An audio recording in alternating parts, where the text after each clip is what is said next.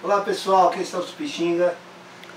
Vou dar um comunicado para vocês. Todos os sábados, às 11 horas da manhã, vou dar dicas de contrabaixo de estudo, como se comportar, técnica, técnica de slap, enfim, vamos falar de contrabaixo no Bom Dia Contrabaixo. Espero vocês lá!